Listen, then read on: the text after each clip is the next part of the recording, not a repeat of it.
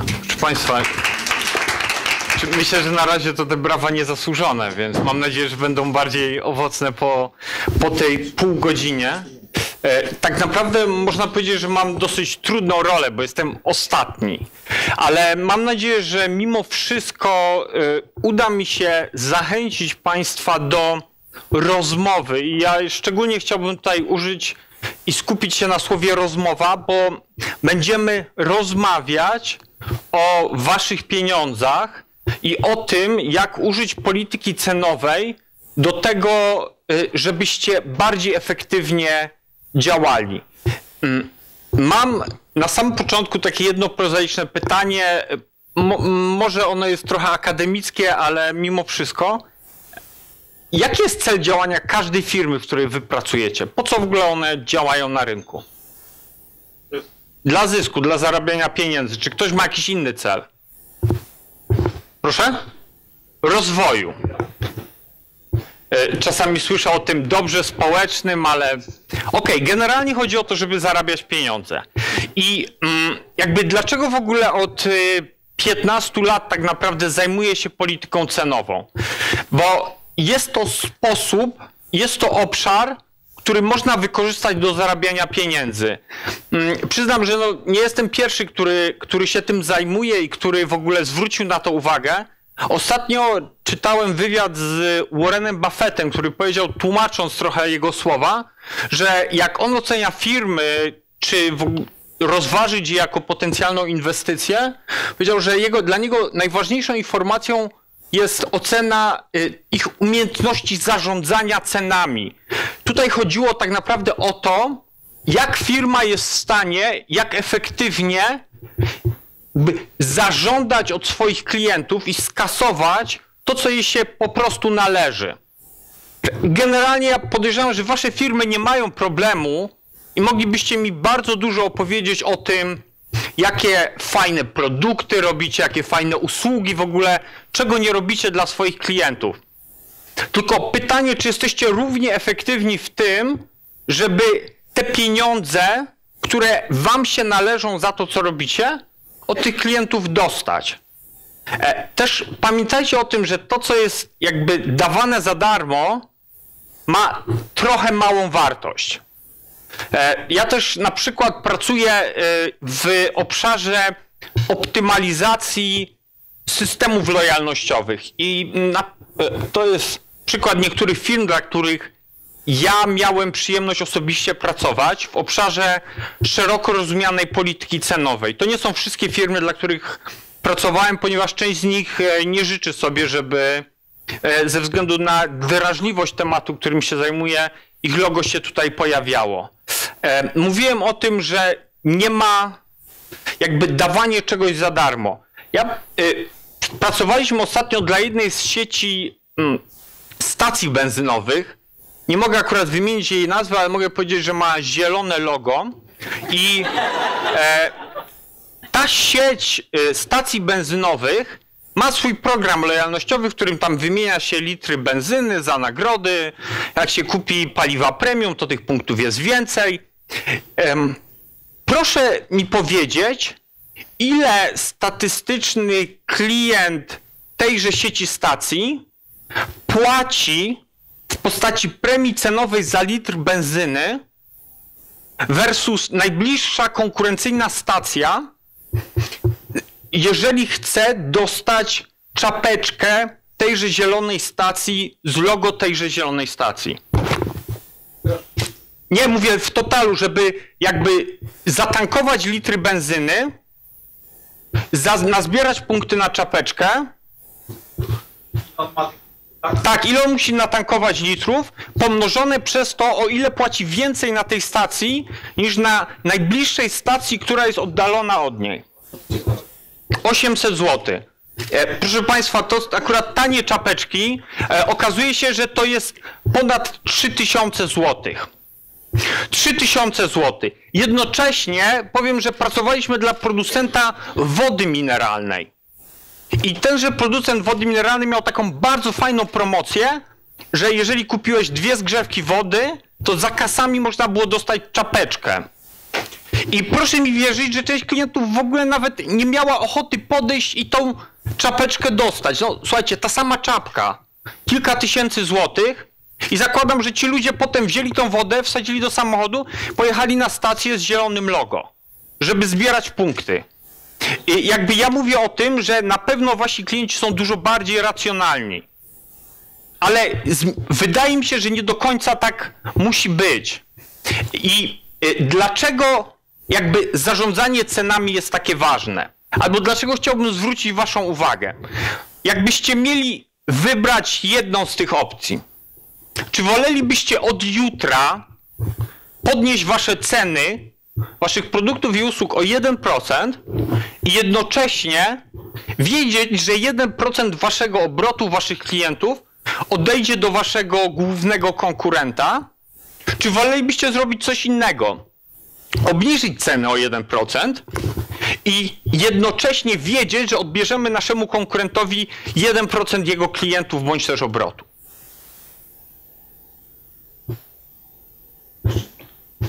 Pan by podwyższył, państwo mówią, że trzeba obniżyć. Moja ulubiona odpowiedź to zależy, to jest dobra odpowiedź. Dwójka, jedynka.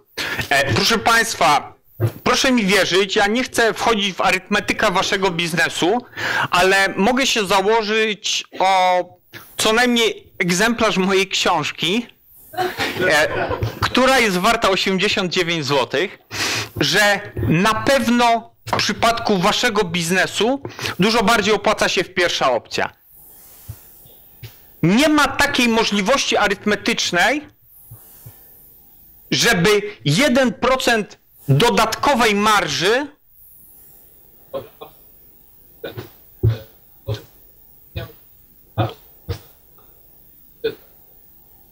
wzmocnienie konkurenta e, jakby to jest 1% klientów, jakby pytanie, powiedzieliście, że waszym celem jest zarabianie pieniędzy. Jeżeli waszym celem jest zarabianie pieniędzy, to opcja numer jeden jest waszą preferowaną opcją. Jeżeli waszym celem jest sadystyczne znęcanie się nad konkurentem i czerpanie przyjemności z tego, że on cierpi, to opcja numer dwa.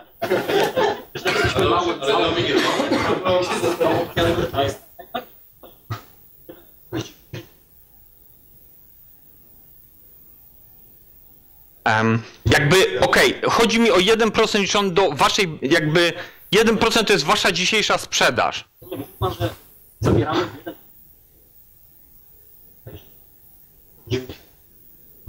Okej, w takim razie przyjmuję, że to jest nieprecyzyjne. Dziękuję bardzo, że, że pan zwrócił na to uwagę.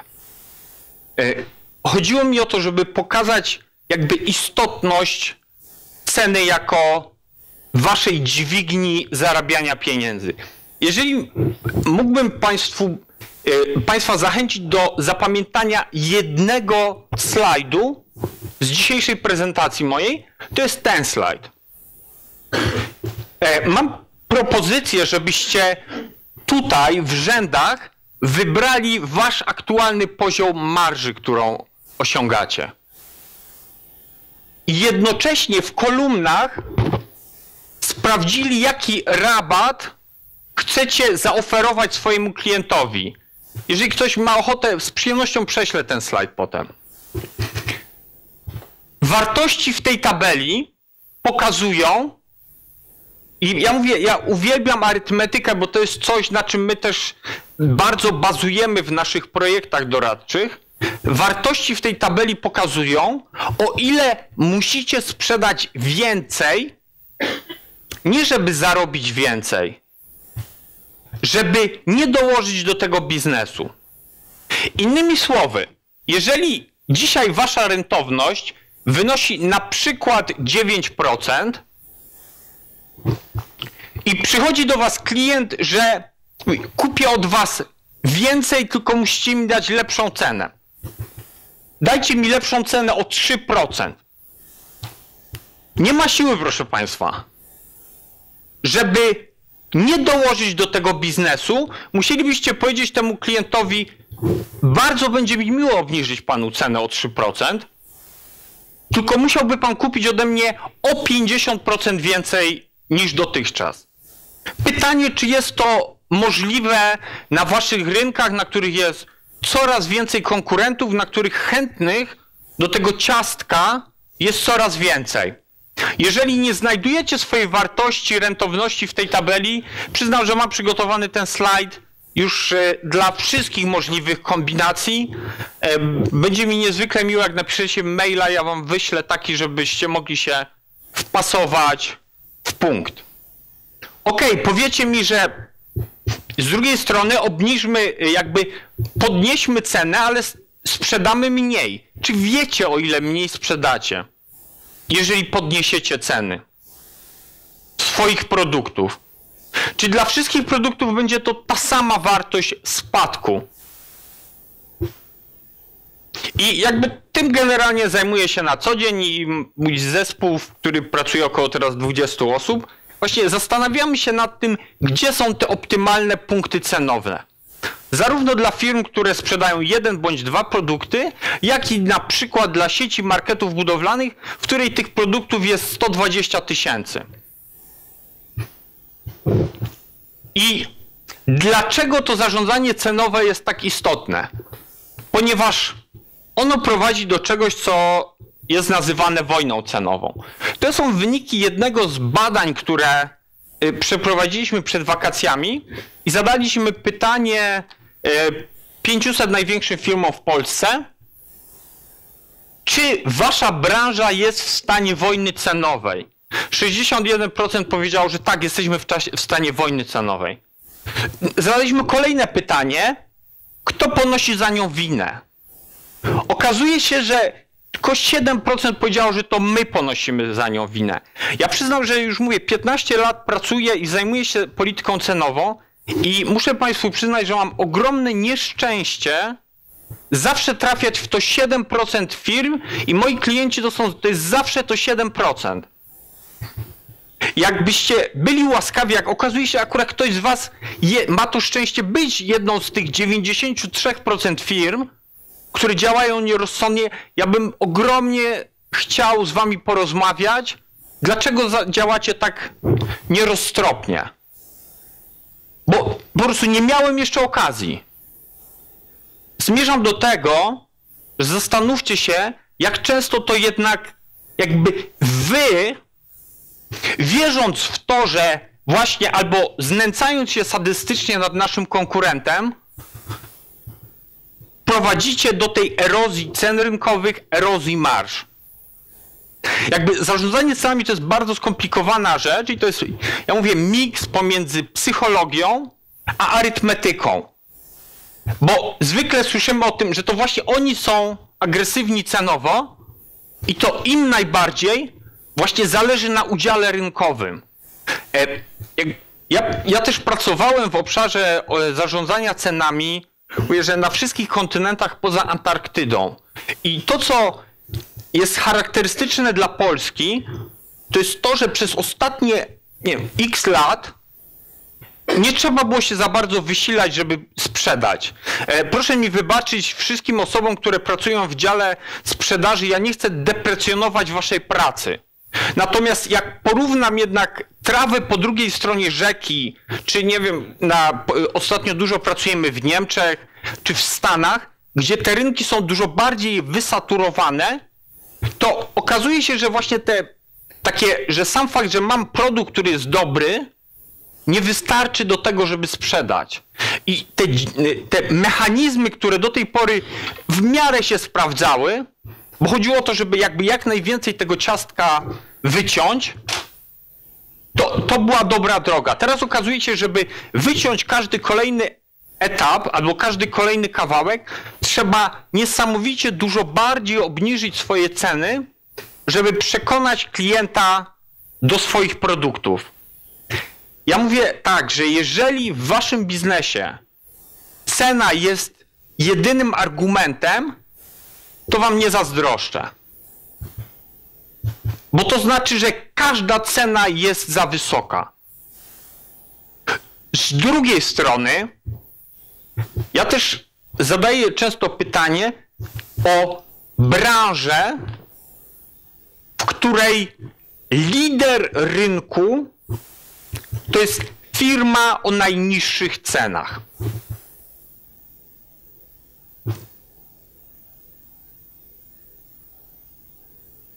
Czyli okazuje się, że właśnie te wojny cenowe, ja znam bardzo wiele firm, które jakby mówią tak, obniżymy cenę, wyrżniemy konkurencję, a potem po prostu będą żniwa. Zwykle ten plan, jak analizuje bardzo wiele branż, kończy się na tym pierwszym etapie. Obniżymy cenę, okazuje się, że ta konkurencja nie chce jakby tak umierać, jak nam się to wydawało w naszym planie, a nawet jeżeli trochę wymarła, to dosyć trudno jest uzasadnić, dlaczego od jutra ten sam produkt, który kupowałem za 10 zł, ma kosztować tych złotych 12. Bo przecież kosztował 10. I na 10 się umówiliśmy. I jakby to, co też jest bardzo symptomatyczne, i to jest, przyznam, że charakterystyka polskich firm. Jak pytamy, ja sporo pracuję z działem sprzedaży i z działem handlu, więc e, jakby sam, sam często spędzam dni z handlowcami. I jak pytam handlowców o poziomy cen na rynku w branży, w których pracują od dziesiątek lat, to zwykle mam taką prawidłowość, że mniej więcej firmy są w stanie w miarę dobrze określić swój poziom cenowy, natomiast bardzo przeszacowują albo w drugą stronę nie doszacowują cen konkurentów. Czyli w naszych głowach jesteśmy drożsi niż rzeczywiście jesteśmy w stosunku do konkurentów. Co przekłada się na to, że jeżeli idziemy na spotkanie, idziemy na negocjacje, z założenia mamy uwiązany tutaj kamień przy, e, przy sobie, bo wierzymy w to, że konkurencja jest tańsza. No bo przecież ten klient ostatnio mi pokazywał ofertę od konkurenta na dokładnie ten sam produkt ze znacząco niższą ceną. No, takie wartości zapadają w pamięć. Ja mówię, że to są. Ja mam też taką listę takich historii wojennych. I to są jakby historie, które każdy handlowiec po prostu pamięta i rzuca nimi jak z rękawa. Tylko dlaczego tak często nie rzucamy z rękawa historiami super zadowolonych klientów, którzy nawet nie wspomnieli o cenie? Albo ta cena pojawiła się jednak daleko w tym całym procesie sprzedażowym. I dlaczego jakby pricing i zarządzanie cenami to jest też psychologia? Dlatego, że te ceny, mimo to, że można je bardzo dobrze policzyć, zawsze są w, jakiś, w jakimś kontekście. E, jak zadam Państwu pytanie, który z tych kwadratów jest ciemniejszy? To kto z Państwa uważa, że ciemniejszy jest ten kwadrat u góry? Są takie same. Pani mówi, że kąt padania światła. Kto, kto z Państwa uważa, że jednak ten u góry jest ciemniejszy? Aktywnie może być Może być tego samego koloru. Powiem tak, jeżeli ktoś z Państwa widzi, że te, kwad... widzi, że te kwadraty są w tym samym kolorze, to polecam, żeby dzisiaj jeszcze umówił się na wizytę ze swoim optykiem. Albo jest po prostu na tyle pewny siebie, że potrafi mnie okłamać. Tak czy inaczej, jeżeli macie wszystko w porządku z oczami, to nie macie prawa widzieć, że te kwadraty są takie same. I popatrzcie, to co ja wam teraz pokażę, to wam pokażę, że te kwadraty są rzeczywiście takie same. I patrzcie, wszyscy widzicie, że one są takie same. Nie? I kurde, znowu nie są. I chodzi mi o to, że nasz, musimy zaakceptować to, jak działa nasz mózg. Również w kontekście decyzji cenowych. I opowiadałem wam o przykładzie tej czapki. Tak działamy i jakby nie chodzi o to, że jakby moim celem nie jest to, żeby edukować ludzi z kagankiem oświaty, jesteście głąbami, bo wydajecie tysiące złotych na bezsensowną czapkę. tylko wykorzystać ten mechanizm do tego, żeby dać im okazję do działania w sposób dla nich racjonalny. W tym wypadku sposób działania dla mnie racjonalny to jest to, że ten dolny kwadrat jest jaśniejszy. Jak to się przekłada na decyzje cenowe? To jest przykład jednego z naszych projektów z branży AGD. Mamy y, y, y, klienci, którzy są zainteresowani zakupem czajnika. Mamy czajnik, jeden czajnik i jest w dobrej cenie, w dobrej ofercie, przeceniony z 30, 50 na 38%. Więc jakby jaki jest wniosek? Słuchajcie, trzeba promować, bo promocje dają efekt, ludzie kupują. 66% osób zdeklarowało, że ma ochotę kupić ten czajnik za 38 zł. Więc może to, co zrobimy, to wprowadźmy kolejny czajnik, dajmy ludziom wybór. Jeden będzie tańszy, drugi będzie droższy. Co więcej, jeżeli promocje działają, to też go oddajmy na promocję. I co się okazuje? Że kurczę, to nie działa tak prosto. Że mimo to, że oba czajniki są w bardzo dobrej cenie i oba czajniki są w promocji, to dużo więcej osób, zakładając, że te grupy są porównywalne, mówi, że to jest zbyt trudna decyzja. Ja tak naprawdę nie wiem i w sumie to wolałbym jednak gotować tak, jak gotuję w garnku. Albo ten stary czajnik jeszcze jakoś tam, jak go przytrzymam, to, to zadziała. E, Jakby mówicie, że ludzie są racjonalni. E, Jakby pracujemy dla różnych firm i e, akurat ostatnio skończyliśmy projekt dla, który robiliśmy dla sieci drogerii i on był robiony jednocześnie dla największego w Polsce producenta papieru toaletowego. E, Proszę mi wierzyć, że to jest bardzo emocjonalna kategoria produktowa E, i i- nie wiem, czy Państwo wiedzą, ale e, papier sprzedaje się w e, takich opakowaniach ośmiorolkowych. Testowaliśmy różne mechanizmy promocyjne wśród Polaków, którzy są bardzo wrażliwi cenowo generalnie i działają bardzo racjonalnie, jak każdy z nas. I daliśmy im do wyboru dwie różne promocje. Daliśmy im do wyboru jedną promocję, jedna rolka gratis, i daliśmy im do wyboru drugą promocję. 20% gratis. Jakby dla tych, którzy mają problemy z arytmetyką, 20% to jest trochę więcej niż jedna rolka z ośmiu. Wśród. E, Okej, nie jesteśmy reprezentatywną grupą, ale okazało się, że ponad 70% naszych rodaków woli wybrać jedną rolkę. I ja jakby ubolewam nad poziomem wiedzy arytmetycznej e, moich rodaków, natomiast ja nie, nie mam w planie teraz napisać kolejnej książki podstawy liczenia do 10, tylko wykorzystać tą wiedzę do tego, żeby efektywniej działać w obszarze polityki cenowej. Nie uszczęśliwiać moich konsumentów na siłę i mówiąc, przecież 20% to jest więcej niż jedna rolka. Jeżeli oni chcą jedną rolkę, to sprzedawajmy im jedną rolkę. I zrozummy pewne mechanizmy. E, Akurat e, przyznam, że ostatnio pracowaliśmy też dla e, największej w Polsce sieci aptek.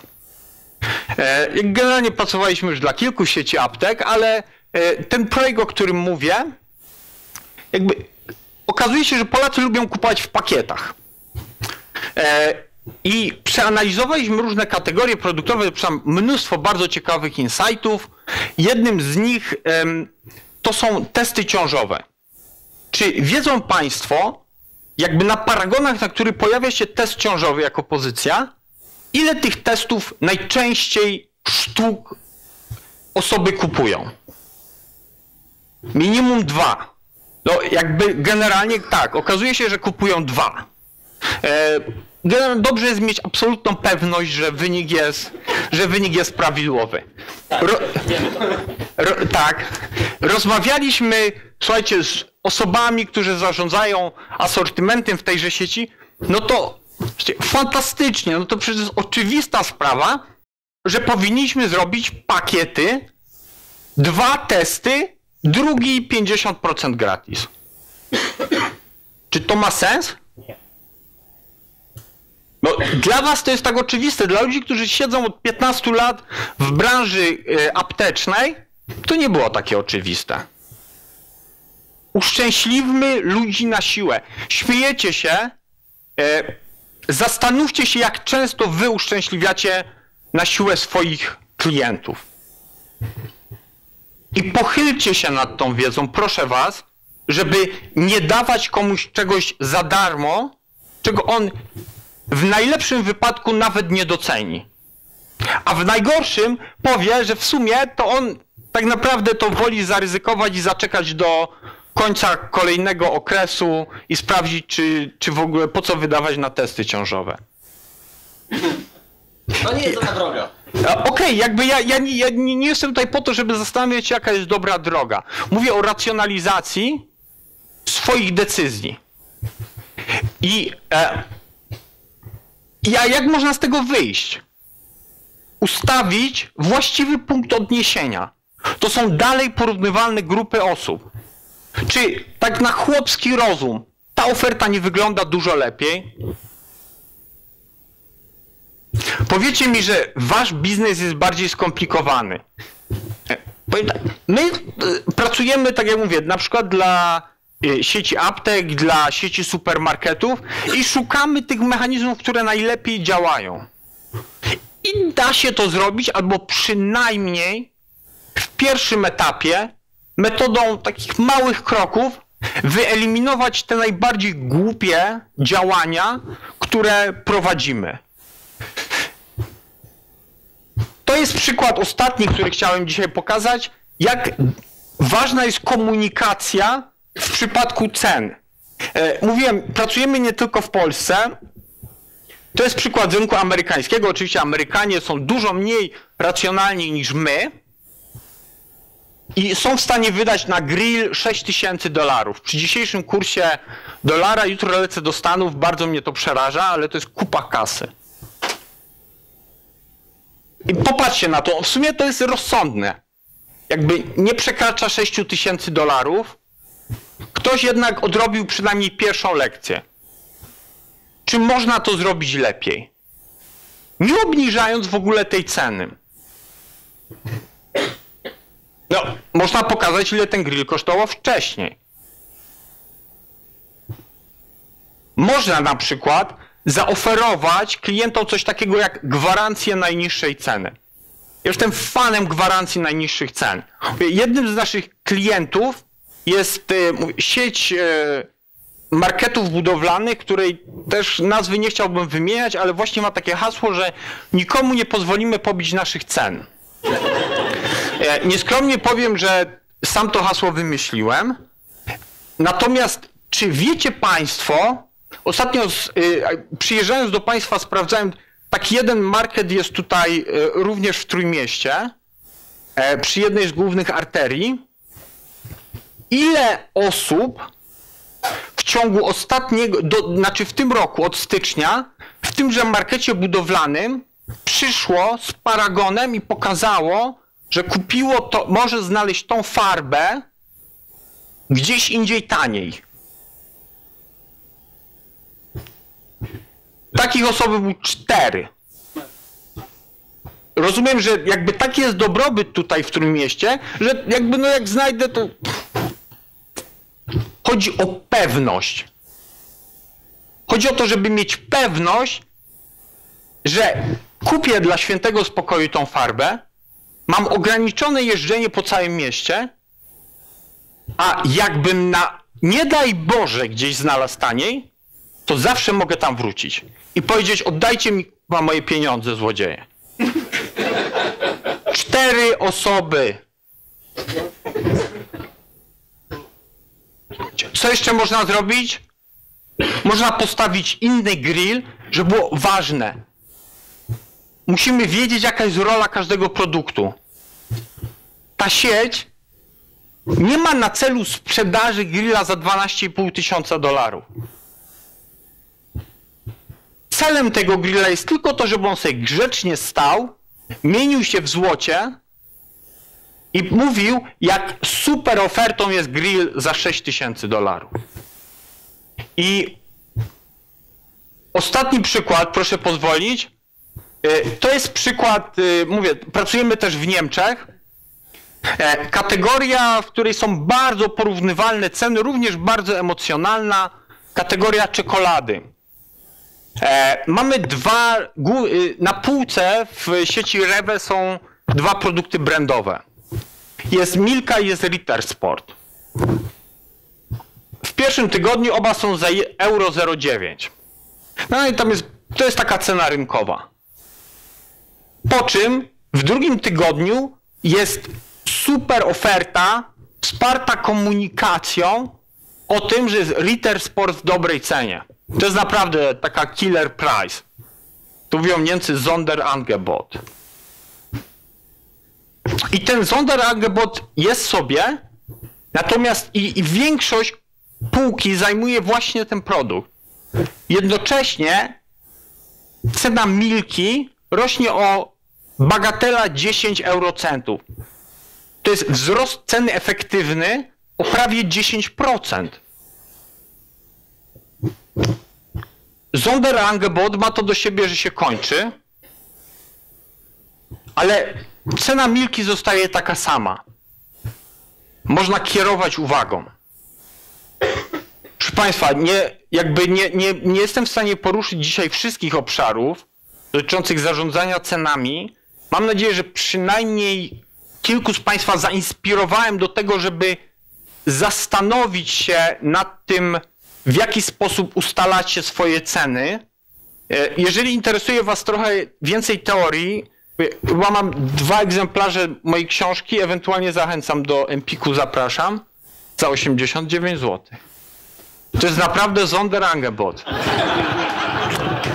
Bardzo dziękuję.